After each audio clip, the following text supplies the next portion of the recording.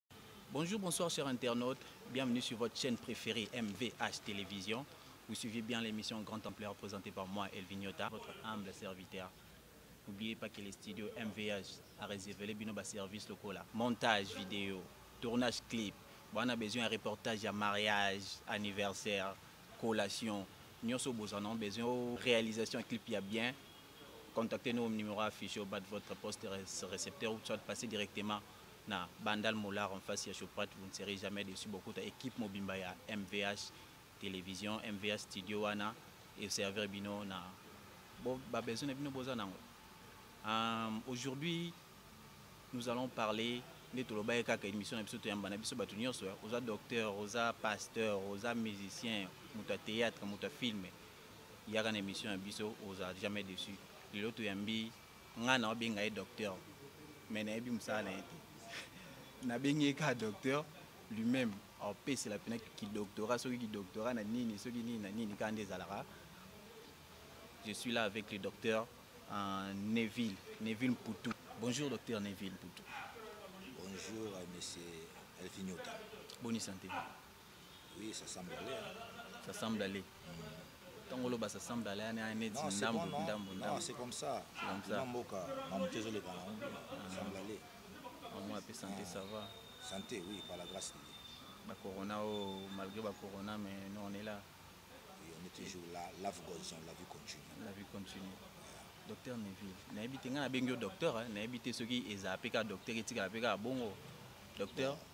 bon nga normalement nalingaka benga nga docteur te obenga nini te d'abord nalingaka mpe euh, trop écran te Mhm. c'est la toute première fois mosusu naleka mpe na baécran tout ça nalingaka mpe baécran te Ah bon soko moi lelo naleki na écran parce que euh, namoni mawa mingi mawa trop na sens nini keno parce que bato bazolela mingi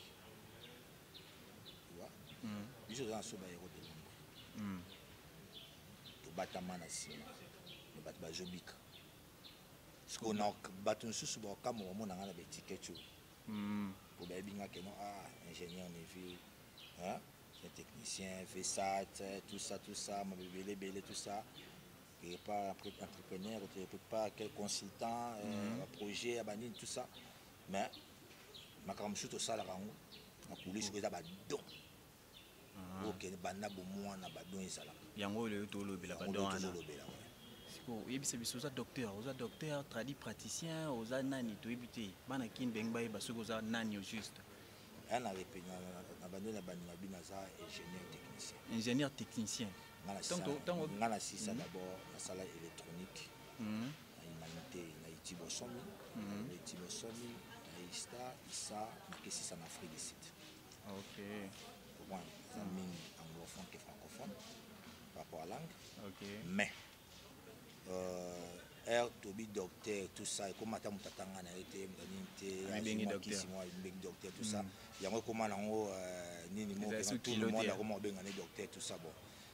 ngai nalingaka abenga docteur te me naza kaka keno euh, nayebi te so nakoloba oyo naza soki nani bo oyo to azwa kombo wasabi kakaonani babenga ingénieur babenga o te na kadre olinga mpena opesa eloko moko bango bakobengela pourtant babenga babenga mbamoko docteur soki bakobenga mbamoko te nevine pour tout na sens ya makambo oyo babengaka docteur babengaka docteur babengaka docteur docteur opana babengaka docteur mm. mais euh, eza eloko natanga te eza eloko otanga te eh. sikoyo ozwela yango wapi nazwela yango sadike eza don ya famille eza don ya famille oyo bayebi bayebi depuis bomwana eh, depuis mm. nituza eza don oyo ke ya bakoko na biso batika mm. eh, oyo bakoko na biso batika eza don ke nyonso ngai na mwana lak mai ndombe oyo ezalaki kala ezalaki province ya bandundu voilà sikoyo tokóma na province ya lak mai ndombe mm. na lak mai ndombe batiniki eza trop mais nga siko naza naza bolia 100% bolia bolia nga pe na mutu ya lac mai ndombe wana ya maman plus mm. mais docteur biloko na bino wana yo otangela yango te mais ozo traite bato oyo oh, ekomi kindoki te mpo mai ndombe mpe ya mystique te kindoki ya te oyo eza makambo ya don omoni badon eza na ndenge ebele mm. ozomona don ya koguerire bato ya kobikisa bato eza elongo eza négatif te hmm. na miso ya nzambe ozobanda hmm.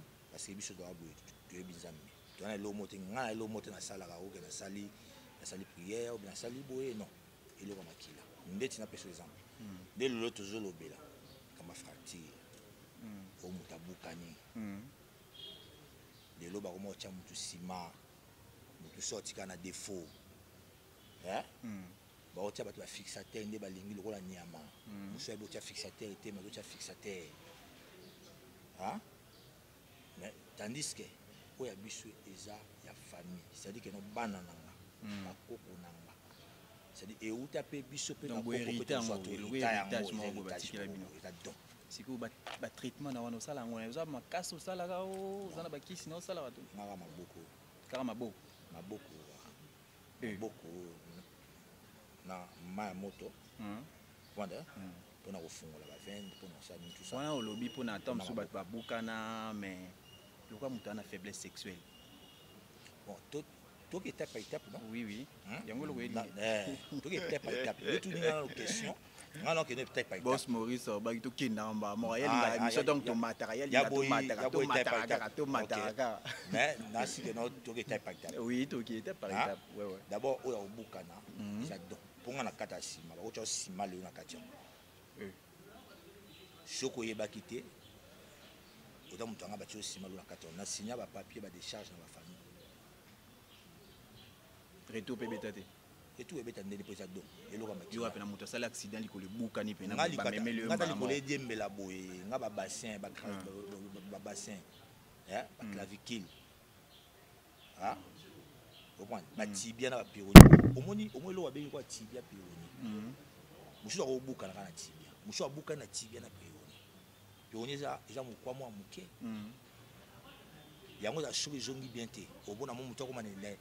ekomani équilibre ezala équilibre ya te mosusu nabe batya ye nsima babongisa peroni ezonga bien te moto équilibre ezalaka te soki otya te maboya atya maboko fixe be moto akei akwei mm-hmm.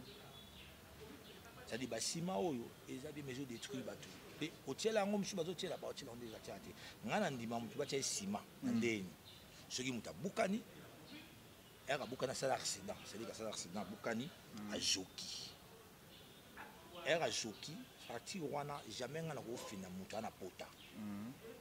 nakosenga insusu famille na bango nsusu natikaka mpo likolo etikala vide bongo te mhm. batie mwa sima mobo batie mpe sima ngai nde fo napesa nini ya sima bakotya eza trop serre te na nini te mhm. mpona pota wana eza mopepe ekauka soki eza keno mokuwa azokaki mokuwa ebukani na kozoka wana soki eza mpo batye fixateur hein mhm. so ba bengi nga ba to ba yebi nga not naza na na bopito oyo kende oyo salo kende oyo kende oyo wacha fixa te mais siko eloko comment ba beni mhm. la plupart hôpital ebele hôpital ebele c'est à dire que non oyo oyo oyo point oyo eza na na na na na Kinshasa na yebisi bango to bakoma kotia ba fixa te bango to bakoma kotia ba sima mais ngai nalingaka nsima te aye na obi nsima cestadire ke na moto azokaki apanzani mm. aye na obi fixa te ke moto azokaki panzani mpo nakofina mokota te mais aire baotya yango soki kaka pota ni kauki fo na kata nsima wana nasali kine bakine ya bango efran rouge yaki sosala yango te ngai asala kine maboko nanga mafuta mbila c'est fini ata massage ata massage ata nini tout ça biso lobonga na botama ndenge wana na mpe exemple moko hmm. biso e tokokola bato bayebi biso na matete te bonhomme hmm. tout ça bayebi biso tofina bavie mosusu ngai na mwana moke na na baage ya ba 9 ans 10 ans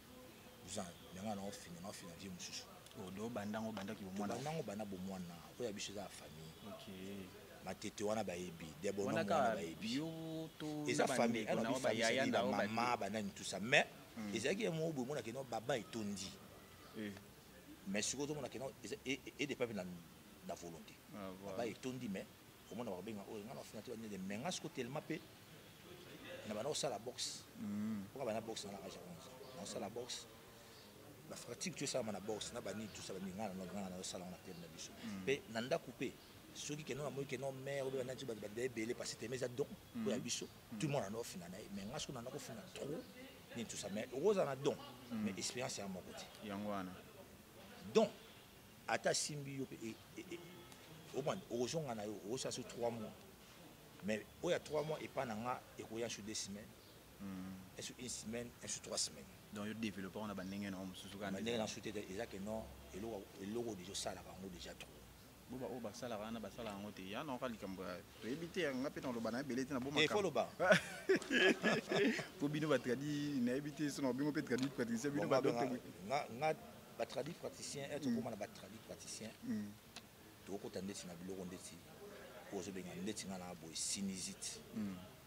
yebisa biso mpe na bamaladi ni apart oyo komokanaloninikaodi tradi praticien ya bamosusu ekomi susu yanso mamosusu ya banzete ah, ozwi makasa ozwi ah. nini oyo nayebi biso ya pratique eza don hmm. wana eza na kisi te eza na nzete te eza makasa na kangaka te yaka maboko mais soki tokoti sikoyo na nike no oyo ya sinizite hmm. ezala sinizite chronique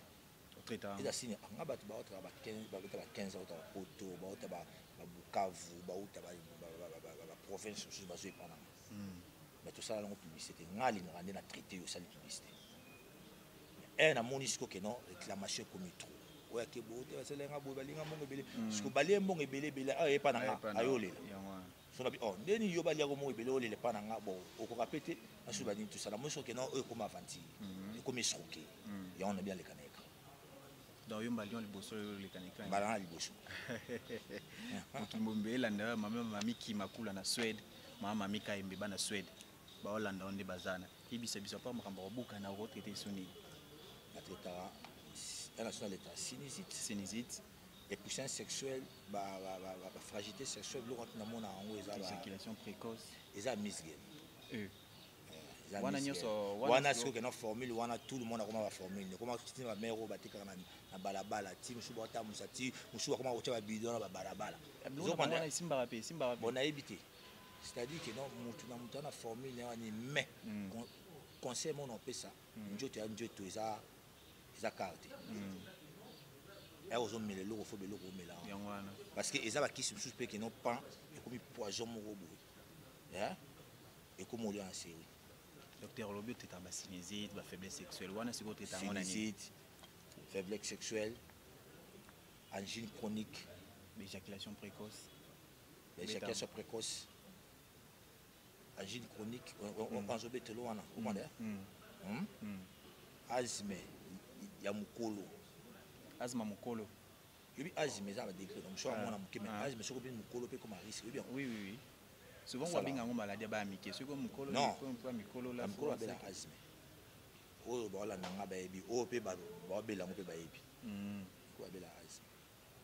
wana sikoyo traite yango na banini wana sikoyo na traite yango sikoyo nde wana sikoyo tokomi na batradi pratique wana sikoyo na traite yango sikoyo na banzete na banini ozo comprendre ah. sinizite na traite yango na bakasa na banini na banzete na babiloko na yango na traite yango oyo yango esilaka libela nasike no soki eh, na poto bamona banini omoni sinizite mm. etiloko tolongo na makambo ya ba tolongo na nini tolongo na wa sinizite mm. sinezite ya maladi moko boye oyo nso bayeba te alaki babenga yango bileki na bikoki oyo babenga oyo babela yango bayebi ah. elingaka molunge te elingaka malili te elingaka afandela tere te mhm.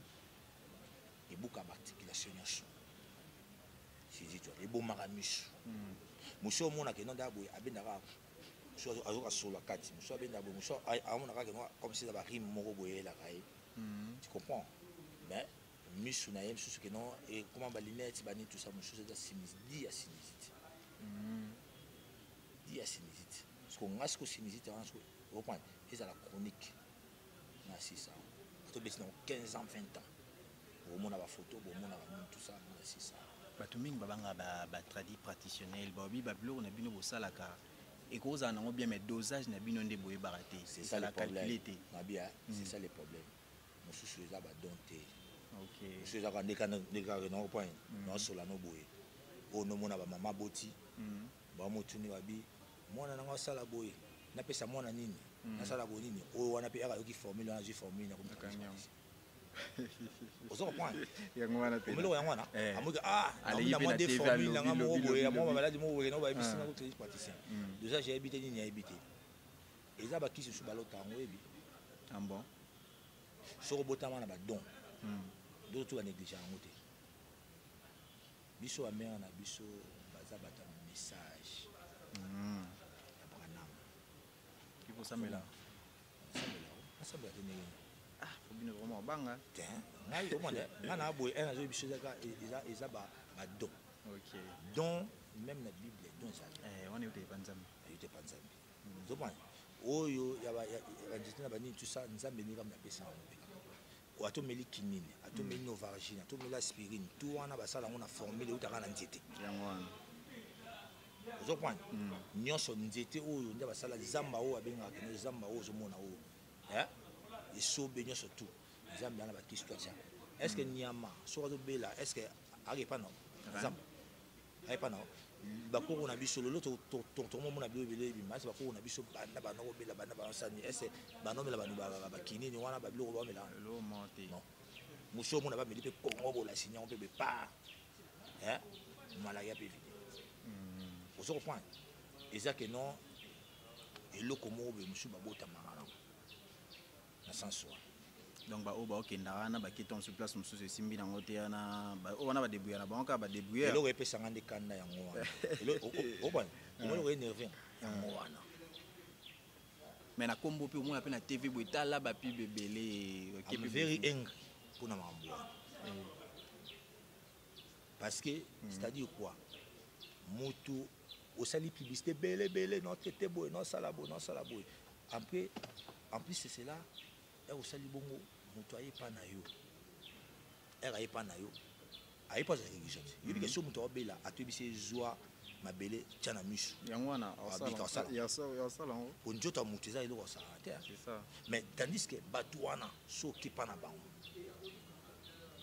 okepa na bango banike no ayebisa bi apesa so molangi mwa monene omela yesu apesi biloko moko boye soki ozwi guérison te eloko nakonanaka bamaladi wana bakendaka kuna oke ozwi guérison te mpo obima mpe na ekole nakendaki mpa motu boye asalaki publicité boyeavandi na ye hmm. so ere avandi na ye sikoyo aluki su motu mosusu aluki su motu mosusu ere aoye mpa na wana somona boye maladi zi epusani hmm. so kuna déjà taxation apesi mbongo ebele akoye mpa na mbongo so esili akomolela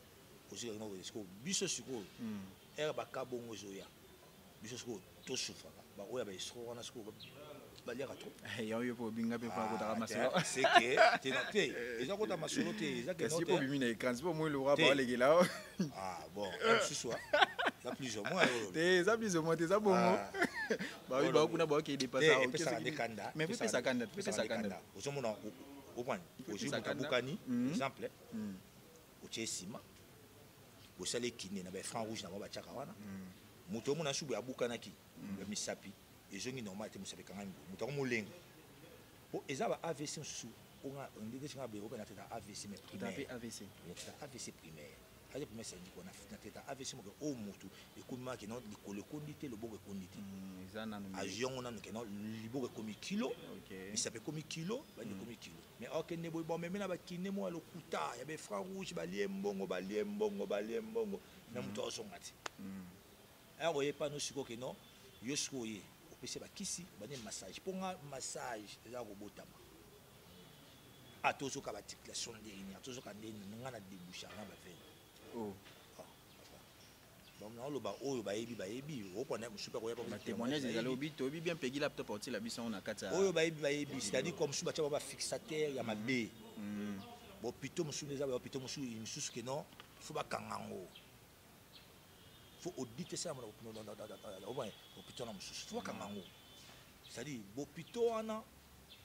bakoma ti na niveau ke non ayebi ke non ye mama mikwa mm. aza na yango te atia mm. fixateur te ngai na mico na beso moto abukani mm. mokwa e, e, ebukani eza des choses napesa exemple moko jomo bauta ye braza braza te paa auta ye pointe noire asa na port ya pointe noire elevateur wana ebetela na lokolo asala na port wana ayebetela lokolo tibia na peroni waye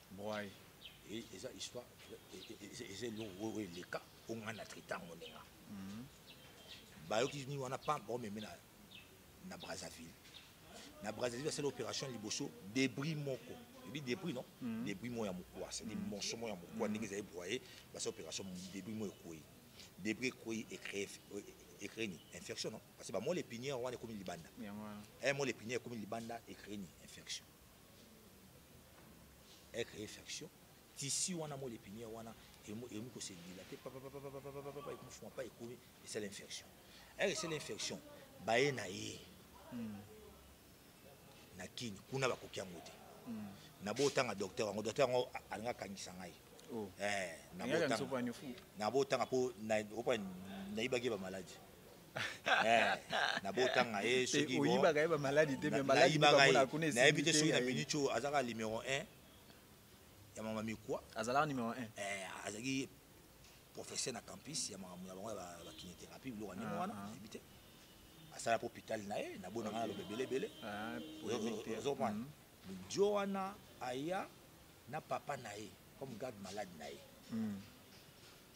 papa oyo yanga mon père parce que bon bazala te bana bona États-Unis mm. na la mère papa oyo yanga abanda kokoma nde anakoma libanda wana bavoyage amoni azoleka na bafixatere na banini tout ça oleka oleka aleka na papa na bakenda kosoma papa bakenda kosala bino wana na seri wana nauti afrique du sud naosisa classe naozo nazomi déjà papa bino yo nini boye asike mpe asike nana bana na ngai tu bafinaka bango tu mai nana moko abla esprit tout ça dana contacter na sola na ye to na ça père na nga sola na ye asola na bango père asola na bango baye esi ma bikeno dokta na ndikolo ko batya ye kale moko boye protège moko boye mm. ya plastique ebombi ye nini boye mais mutu déjà koma adeyaki no soki akitisi lokolo boye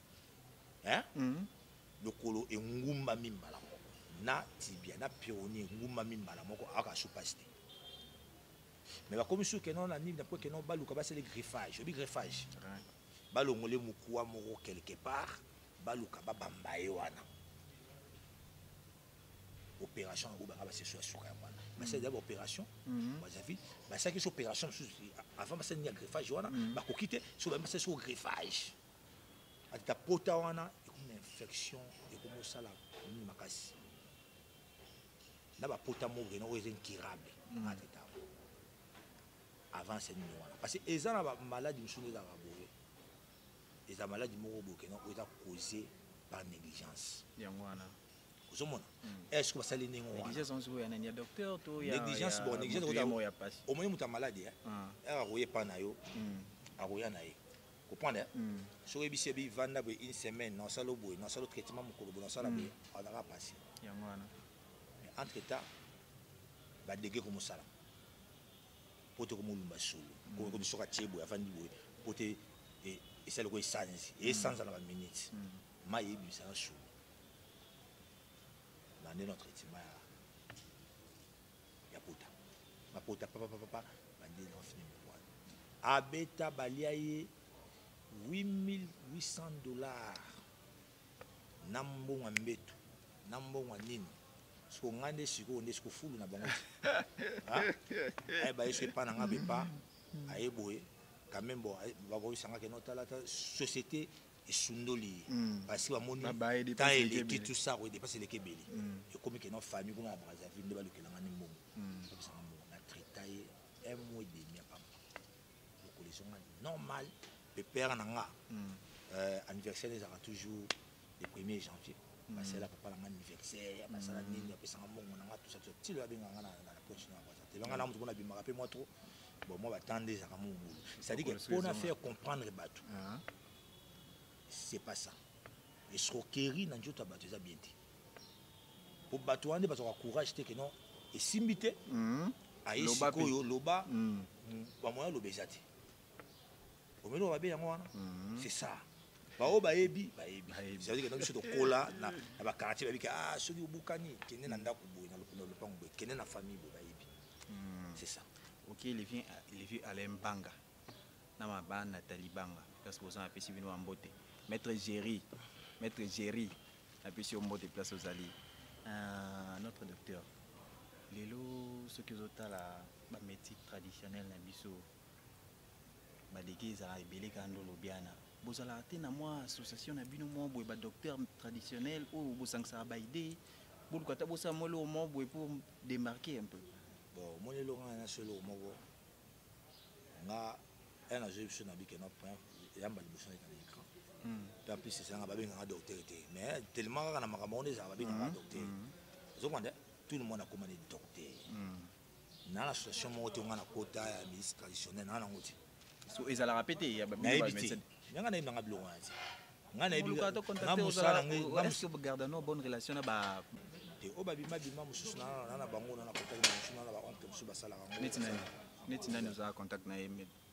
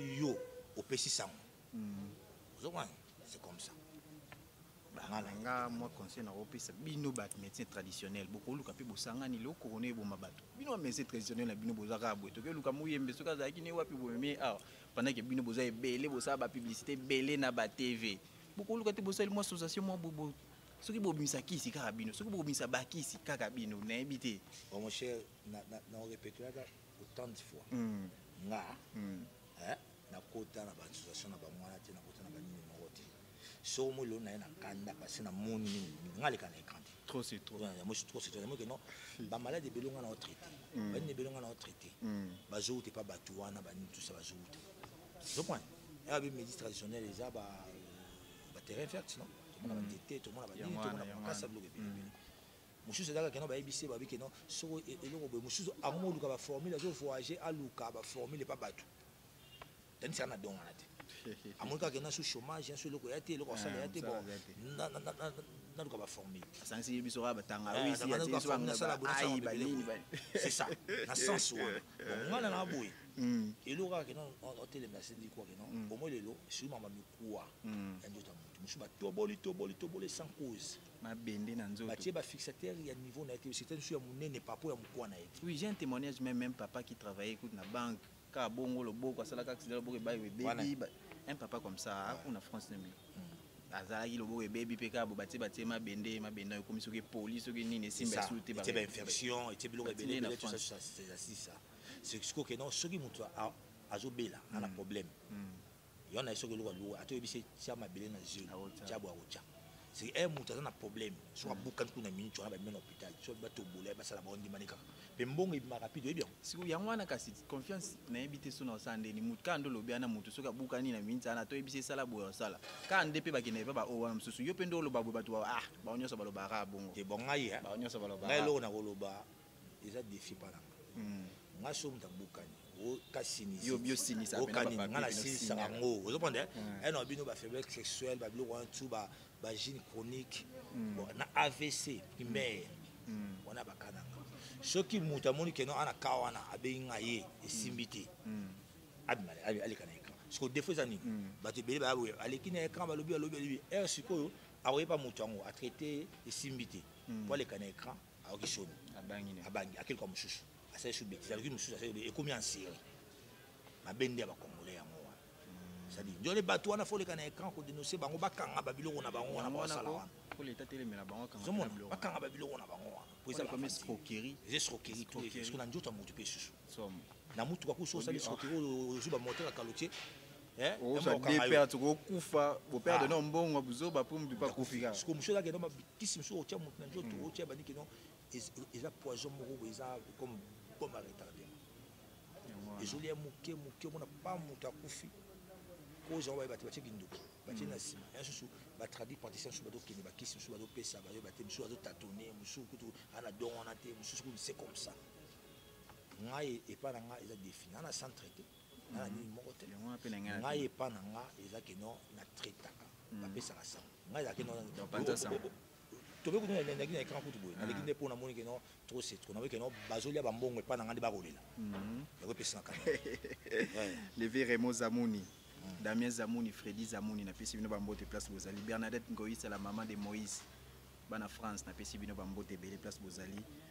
Mon ami Patricia Zodi, Zodi la jolie. Na biso pe ambote. Docteur Obisi wo oza na oza na centre te, oza na nini te, bato bazwa nde nini? Kaka nde panza sango panza sango. Panza sango. Wa bongo etambola malembe te. Mwa mwa mwa biwo mwa boye. Yango siko panza sango panza sango nde yango parce que un souci na micho na be. Un un asso na bikeno obenga nga docteur. Obenga nga nini? Nga tangela ngo te. Nga eza docteur. soki ekoma ke non ata otangela yango tata nini te obenga docteur badocteur babima na bana opani nga natanga mm. nga aza eh, diplômé na électronique opanda mm-hmm. natanga première promotion ya tibosomi nango tibosomi nake ista ista nake ista na félicité ozomona oyo badocteur basala bacampus banime la plupart mpe ebele oyo ata bomba bacampus wana mawa trop eh. Ouais, quand j'ai dit maratro, maratro. C'est-à-dire quoi Parce que mm. surtout, nga nazo bana papa pona domaine nga o pona mm. nga na corrigeaka. Nga mm. benga correction. Correction. Eh, Donc yo corrigea ko ba sali ba barrière ba kuna. Domaine wana surtout domaine wana. Kinethérapie, ba domaine wana tout ça ni mi kwa ba sali wana ba domaine wana échec ya makasi. Même na ba université. Oui oui. domaine wana ma semblak vraiment nayebi te so baluka baprofesseur nini bautaka eh, soki pays nini soki nini mpo bayede bango na domaine wana ah. domaine wana vraiment échec ya makasi nzoto ya moto mosusu bakongo zonga lokola bazotobola yango ndenge balingi baosa ndenge balingi eh, azwaka diplôme kaka asala mwa centre naye moba akebe boya susu akoti na hôpital mwa monene akoti par rapport ya relation par rapport ya domaine asala mais mosala yebi te ya na aloba no bongo pase ba kao nga na zwaka na pe okamo be okwa hopital mo ya ya limete wana moto asala accident na minute wana ya moto asala accident basala ni bon meme mbala moko rapidement mm. balukaka hopital mo rapide bamema ye mm. okomana normalement siko moto wana okomana eke asala accident mm. aye na hopital wana eh? accident oyo asali eke aye na hopital wana mbala moko ale mbongo tu bakosenga ye eloko tu bakoyebisa moto wana kosala po Ah, besoin guérison. Ah, besoin guérison. Hmm. Baketi ya ba fixateur moko oyo eza ya niveau ya opa ndenge na grandeur hmm. ya fracture wana te ya mokwa wana te. Ah. Basali radio ba na biso devant Dieu Dieu me voit. Ouais. Moto batie sima ça fait 3 mois. Docteur Maître moko pe ba. Moto batie sima hmm. ça fait 3 mois. Balongoli sima likolo ezongi sur na defaut ya makasi pe en tout cas fracture trois fracture wana ezali yango kaka ezali chance batiaki nsima okomani nageno batiaki nsima parce à partir ya genou nsima ezalaki te nani mokwa ya genou ezali déplacé nazongisa yango hmm. babenga yanga na nsima nazongisa bon sala so balongoli nsima bobenga nga eh, balongoli nsima famille teti benga nga te eh hmm. ba otie deuxième sima eh soki no deuxième sima ba olongola ba benga bo mutu déjà likolo déjà comme déjà soki ndeni etinga siko combien double boulot ozomona hmm. siko kuna taxation ezali makasi soki epai na nga siko oyebisa nga siko soki ngai soki ngai songa famille wana songa famille wana nde opala pitala eza ya limite mm. pe ba docteur wana pe mal limite balia pe bambongo mm. famille moye funda bango eko bate poso efundi bango ba personne juridique pa bango baza likolo mm. na bavoka na bango makasi siko bazo détruire bavie ya bato sinizite okende bapesi ye bakalima bapesi ye boye bakosi boye basali boye mm. baradio ezokomaki na basinizite bascanner so banilo balobaka wana mm. moto asisaka siniziti ngai eh, tala kamera mpe nayebisa bango bamaladi nyonso siniziti ngai moto asilisaka fracture tout ngai nakataka nsima mm. nasalaka décharge mm. ngai oyo bayebi bayebi depuis bomwana oyo bayebi bayebi nasi ata na bacommentaire bamosusu baloba ah, toyebi bango ah, asalaki nga boye ah, atraita nga boye bakoloba yango c'est ça nzambe asunga sadike epai na ngai nasali defi soki mamaladi oyo ngai nalobi soki bilo ngai nalobi massage oyo bokenda baefran rouge wana bokenda banini oza na nini nani baliboko kilo oza na defo moko boye bokende bosala biloko wana babiloko wana tu okomani oyo bozosala wana ngai nasali defi c'est-à-dire que non na massage na nini boya ngai nasimbaka maboko na ngai na mafuta mbila na mamosutu fini wana eza ya famille tosala yango bane na bane depuis toza bana mikie bakoko na bakoko na bakoko eza génération en génération c'est ça en fait oui c'était là le docteur nevi le docteur nevi mputu apesi bino masolo kaka nde ezalaka soki boza oyo bino abenga problème ate ngai nabengi kaka docteur mpo nabonaka na bengo soki ndenge nini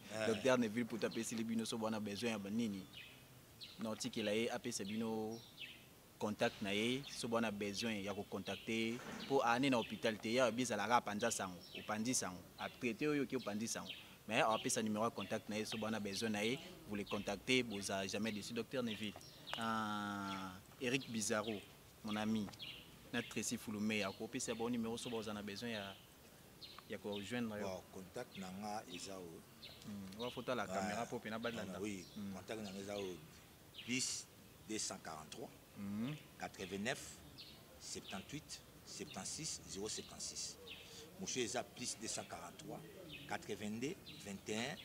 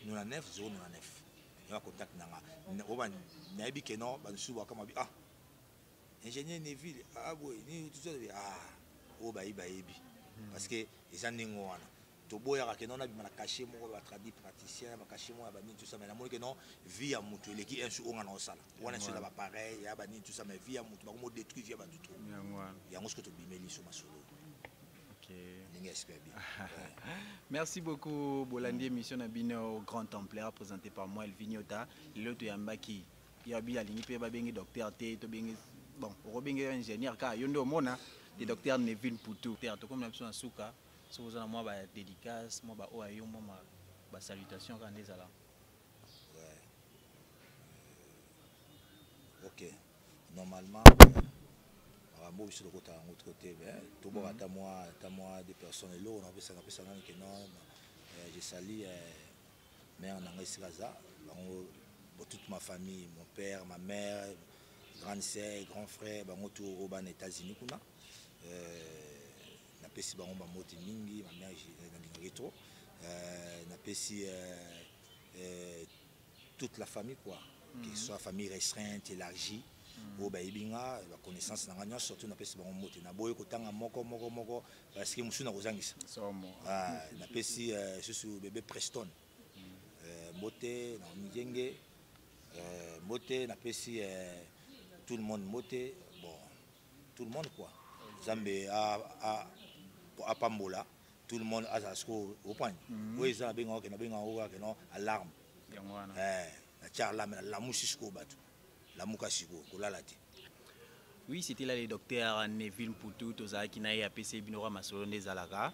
Bwana besoin ya ko kutana na docteur apesa bino numéro na ye bobenga soit bobengi pe biso na émission euh, numéro eza affiché wana tokopase bino le docteur ah, nakopesi bambote na nga déjà na mon ami Tracy Lumeya Eric Bizarro na pesi yo mbote Benjamin Kilombo Gracie Kilombo Jaron Tsemi fils à papa na pesi yo ba mbote place ozali na pesi mbote na Mercian Wawina na pesi mbote na Ryan Wawina et Mama Mia Je te salue aussi là où tu es. Je salue ma famille, toute la famille Nyota, na pesi no mbote la famille Ngoïsa, Peggy Laptop, 1200 eh ezalani 12500 giga.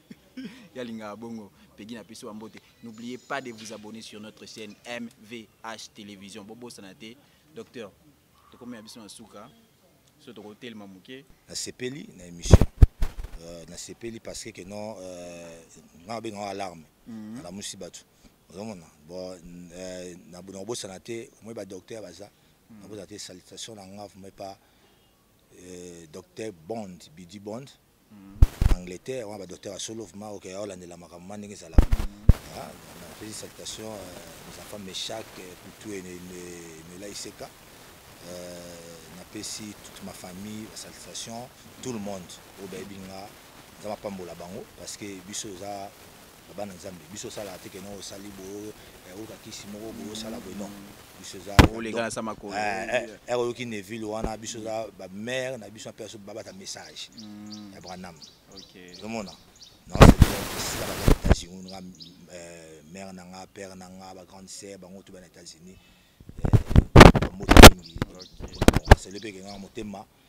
eh, Naomi eh, Yenge na toute la famille bango nyonso tout Nzambe apambola apambola biso nyonso tout toutes mes connaissantes eh, na Mizimbo tout le monde tout le monde tout le monde Nzambe apambola bango merci beaucoup merci beaucoup émission na biso ekomi nango na suka lelo toyambaki docteur na biso neville apeseli biso makambo nde ezalaki boyoki ye ndenge alobi ndenge nini bwana besoin na ye contacte ni o numero affiche ou soit bobenge mbala moko na numero apesaki wana nga mpe napesi bambote na ngai na famille na ngai mobimba famille nyota